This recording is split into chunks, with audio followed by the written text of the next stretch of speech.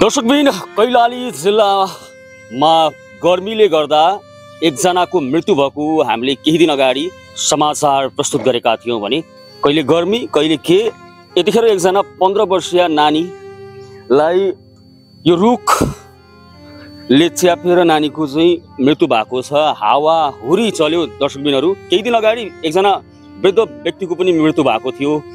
यतिखेर म कैलाली जिल्लाको टिकापुर नगरपालिका वडा नम्बर एक विशाल नगरमा छु दर्शकबिनहरू पन्ध्र वर्षीय नानी प्याउरी बिकको घटनास्थलमै मृत्यु भएको छ।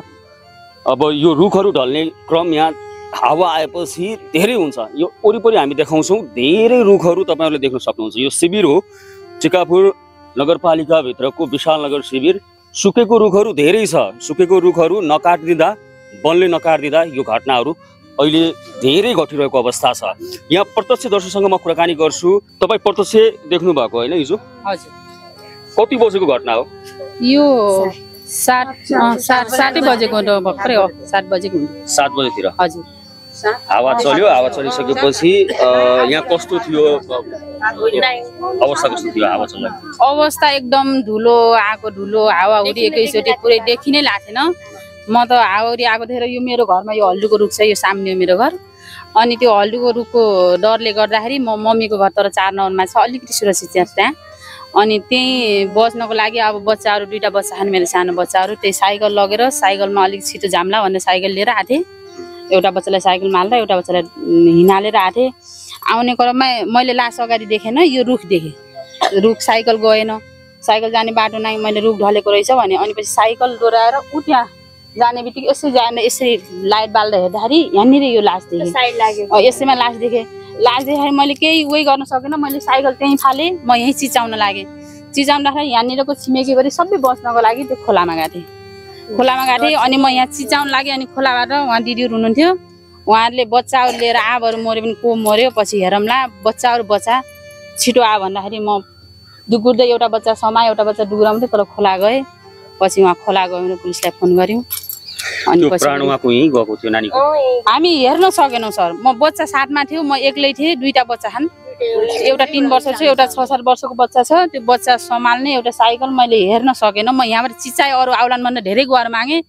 कोही आउन सक्ने माहौलै थिएन सर। एकदम हावा यो ठाउँबाट यो लगियो? फस्तो हावा चल्ने बेलामा अनि हो कति बेला लगियो यहाँबाट घरमा? यो हावा रोकिसकेपछि हामीले पुलिसलाई बोलाएर उहाँ पुलिसले नै आएर हामीले टच गरेनौँ।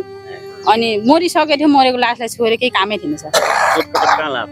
चोटपटक एउटा यो खुट्टा भाँचिएको छ अनि यो यहाँ यो यहाँ यो साइडमा लागेको छ। नाकबाट मुखबाट फुट रगत आएको यसरी पछाडिबाट हान्दाखेरि लागेको हो कि भन्ने शङ्का छ। अब यो समस्या त धेरै भइरहेको छ। केही दिन अगाडि एकदमै भइरहेछ हामी त के भन्न चाहन्छौँ? तिन दिन एक दुई तिन दिन बिराएर हुन लाग्यो सर। हामी त के भन्छौँ भने सकेसम्म हामीले ज्यान बचाउनु छ। हामी त यसै सुकुम्बासी भएर बसेका छौँ। अब त्यहीमा पनि हामी यो ए, दिन प्रतिदिन यो घटना घटिरहेछ। बरु हरियो रुख नलगे पनि यो सुकेको रुख आज यो घटा घट्यो भोलि पनि घट्ने हो यो। सबै ठाउँ पुरै यो सबै यस्तै डरा भएर बसेछ। यो रुखहरू हामी त सकेसम्म यो लास पनि हामी नबुझ्नै सकेसम्म यो रुखहरू सबै जोखिम रुखहरू हटाइने भए हाम्रो अलिकति शान्तसँग बस्न सक्थ्यौँ कि बाँच्थ्यौँ कि। सुकेको रुख हटायो भने यो घटना चाहिँ कम होला भन्ने कुरा चाहिँ उहाँहरूको छ। म एकजना बुवासँग जोडेँ। तपाईँको नाम के हो? मेरो करलुहार करण लोहार। करलुहार के भन्नुहुन्छ अब निकै नै दुःखद घटना दुःख घ- घटना घटेर हजुरको अनि म बाबुले देख्नुभएको छ बाबुले देख्दाखेरि अनि कराउँदै जानुभयो म पनि आएँ। त्यतिखेर आफन्त यहाँ यहाँनिर कोही छैन। अनि त्यहाँतिर होइन म त एकता नगर गएर होइन त्यो त्यो बा उनको आफन्तलाई बोलाइ ल्याएँ मैले। त्यति गर्दै होइन यहाँ होइन हजुरको लुसा लु छैन। अब बाँचौँला भन्ने सबैले आश छ हजुरको होइन मर्ने अब मर्ने हो भन्ने होइन ऊ भयो। त्यही भएर यो सुक्खा जति रुख हटायो भनेपछि हामी बाँच्छौँ कि भन्ने आशामा छौँ। छैन यो हुँदैन सरकारले पनि मर भनेपछि हजुरको हामीले भन्ने केही छैन यो लास पनि होइन। जाला होइन यो लास पनि बुझिदेऊ बुझेर के गर्नु छ हजुर? अर्को भोलिसाल अर्को लास हुन्छ भोलि भोलि अर्को लास हुन्छ हजुरको त्यही गर्दा दिनको दिन प्रतिदिन होइन हामीले लास देख्नुभन्दा हामीले यो बाँच्नु भने धिक्कार छ हजुर। मर सबै मर मरेर सबै हामी नगरपालिका गएर हामी झुन्डिन्छौँ हजुरको। यहाँ अरू अर्को उपाय छैन। दर्शकबिन अब यो घटनास्थलबाट हामी चाहिँ घरतर्फ जान्छौँ। प्याउरीको घरमा रुवाबासी एक हिसाबको चलिरहेको छ। निकै नै पीडामा हुनुहुन्छ पक्कै पनि परिवारहरू। दर्शकबिन समस्या सुकेको रुख मात्रै होइन। समस्या सुकेको रुख सँगसँगै उहाँहरूले आफै निम्ताएको पनि केही कुराहरू छ। म त्यो त्यो देखाउँछु। रुख जुन हिसाबमा उहाँहरूले चाहिँ फेद तलबाट चाहिँ काटेर दाउराको रूपमा चाहिँ प्रयोग प्रयोग गर्नुभयो। आफ्नो चाहिँ घरमा चाहिँ दाउराको रूपमा जुन तलतिरको भाग चाहिँ प्रयोग गर्नुभयो र त्यो तलतिरको भाग कमजोर भइदिँदा हावा आउँदाखेरि त्यो रुख ढल्ने समस्या अहिले चाहिँ भइरहेको छ। यहाँ यो रुख हामी जुम गरेर देखाउँछौँ। अब यो रुख हेर्नुहोस् यसरी चाहिँ उहाँहरूले चाहिँ तलतिरको भाग चाहिँ काटेर दाउराको रूपमा चाहिँ प्रयोग गर्दा पनि अलिक कमजोर बनेको छ रुखहरू धेरै नै कमजोर बनेको छ। हावाले गर्दा लड्न थालेका छन् रुखहरू। अब यो रुख पनि हेर्नुहोस् सबै रुखहरू चाहिँ यस्तै गरी उहाँहरूले चाहिँ दाउराको रूपमा प्रयोग गर्दाखेरि यता यो रुख पनि देखाउँछौँ। प्राय सबै रुखहरू यही किसिमको छ। र यी रुखहरू सुकिसकेको छ र यी सुकेका रुखहरूलाई चाहिँ वनले काटेर ग्रेडिङ गरेर बेच्यो भने वनलाई पनि फाइदा र यहाँ चाहिँ सुरक्षित रहन पनि सक्नुहुन्छ। त्यस कारणले गर्दा यो भिडियो मार्फत हामी वनलाई सुझाव पनि दिन चाहन्छौँ। त्यसो यतिखेर हामी चाहिँ प्याउरीको घरमा आएका छौँ। यहाँ निकै नै धेरै चाहिँ स्थानीयवासीहरू जम्मा हुनुभएको छ। त्यो हिसाबले घटना घट्यो। निकै नै दुःखी हुनुहुन्छ सबैजना। वन कार्यालयले सुकेको रुखहरू नकाटिदिँदा यो घटनाहरू घटेको भन्ने कुरा धेरैको छ र हामीले पनि यही बुझेका छौँ। यो विषयमा म बुझ्छु। के नाम हजुरको मेरो नाम हिरा साई। के भन्नुहुन्छ ल भन्नुहोस्। अब यो वास्तवमा मान्ने हो भनेपछि वन कार्यालयको का ऊ लापरवाहीका कारणले हो यो।